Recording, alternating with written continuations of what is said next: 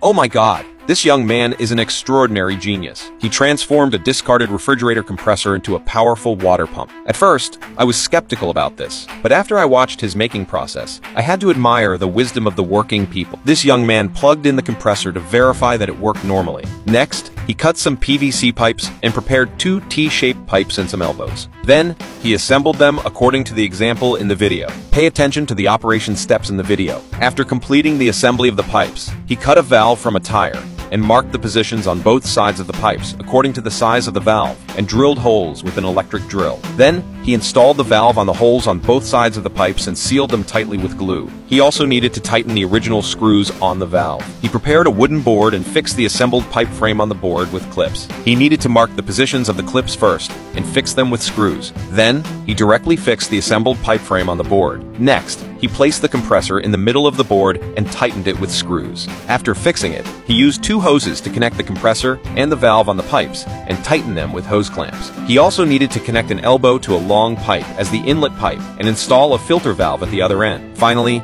he took the modified compressor outside and tested how it worked. He connected one end of the inlet pipe to the inlet and extended the other end of the outlet pipe appropriately and added some water to the outlet position. Next, it was time to witness the miracle. As you can see, when the power was turned on, water gushed out of the outlet quickly, and the water flow was also very large. Using such simple materials, he was able to make a powerful water. I had to admire the wisdom of the working people. What do you think?